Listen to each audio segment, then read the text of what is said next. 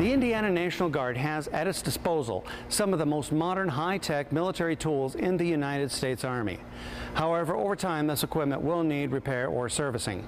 The Indiana National Guard counts on the talents of the Combined Surface Maintenance Shop, or CSMS number one, here in Indianapolis, Indiana, to get that job done. At CSMS1, we take great pride in, in, making sure that all the equipment is done correctly without any errors the first time. These are soldiers repairing soldiers' equipment getting ready for combat.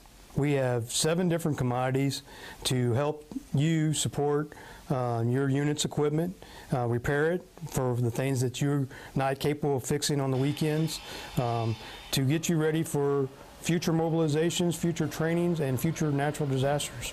For the Indiana National Guard, I'm Mike Krieg, reporting from Indianapolis, Indiana.